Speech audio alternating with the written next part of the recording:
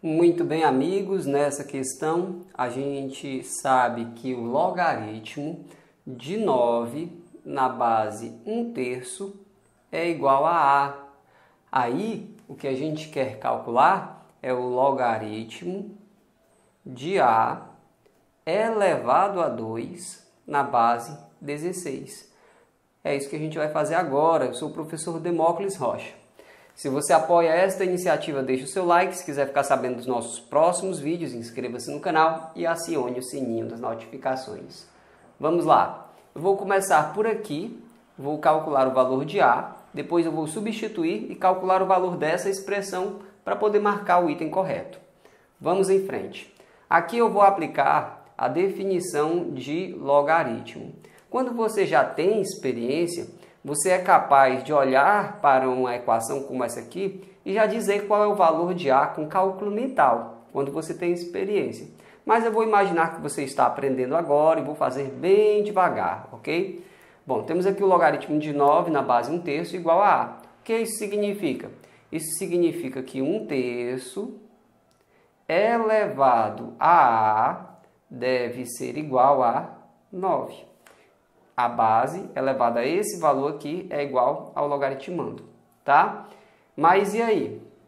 Eu vou olhar para 9 e vou lembrar que é 3 ao quadrado. E aqui eu tenho 1 terço, que é 3 elevado a menos 1. Então eu vou colocar todo mundo na base 3. Onde eu tenho 1 terço, eu coloco 3 elevado a menos 1. E o expoente A está lá fora. Onde eu tenho 9, eu lembro que é 3 elevado a 2. Pronto. Agora veja bem, o expoente de dentro multiplica o expoente de fora. Então vou ficar do lado esquerdo com 3 elevado a quanto? Menos 1 vezes A é menos A. Então 3 elevado a menos A é igual a 3 elevado a 2. Daqui, o que você vai concluir? Daqui você vai concluir que menos A é igual a 2. Isto é, o oposto de A é igual a 2. Se o oposto de A é igual a 2, é porque o A vale menos 2. Você também poderia simplesmente pensar assim, ah, peguei o oposto dos dois lados da igualdade. O oposto de menos A é A, o oposto de 2 é menos 2. Então eu concluí que o A vale menos 2, fácil desse jeito. Agora, é claro que você tem que ter conhecimentos sobre potências, né, as propriedades das potências.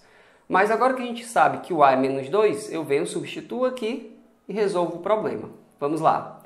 A gente vai calcular aqui o logaritmo de A ao quadrado na base 16. O A vale menos 2. Como ele é negativo, eu coloco aqui entre parênteses e ele está ao quadrado. Pronto. Ficamos então com o logaritmo de quanto? Na base 16. Menos 2 entre parênteses ao quadrado é menos 2 vezes menos 2, cujo resultado é mais 4 que eu coloco aqui simplesmente 4. Aí eu te pergunto, quanto que é o logaritmo de 4 na base 16? É isso que a gente está procurando. Professor, eu não sei. Mas eu tenho certeza que você sabe que a raiz quadrada de 16 é quanto? Ah, professor, a raiz quadrada de 16 é 4. Se tu sabe que a raiz quadrada de 16 é 4, tu também sabe que 16 elevado a 1 meio é igual a 4. É ou não é? Quando a gente tem uma raiz quadrada, o índice é 2. E aqui dentro, se você não está vendo o expoente, é porque o expoente é 1. Esse 2 vem para baixo do traço de fração, esse 1 vai para cima. Tá? Onde a gente tem uma raiz quadrada, a gente tem uma potência cujo expoente é 1 meio.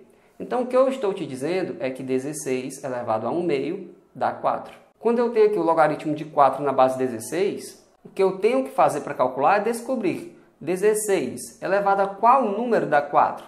16 elevado a qual número dá 4? Ah, professor, o número é 1 meio. Pronto. Então, o logaritmo de 4 na base 16 é 1 meio. E essa é a nossa resposta.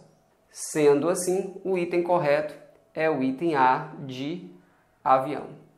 Está na hora de dizer que este vídeo foi feito de coração para te ajudar. Se ele te ajudou e você quiser me ajudar de volta, deixe um comentário com uma carinha sorrindo, compartilhe o vídeo.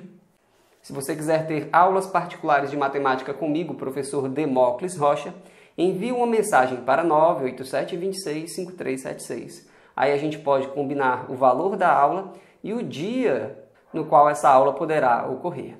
A gente fica por aqui, um abraço e até a próxima. Tchau!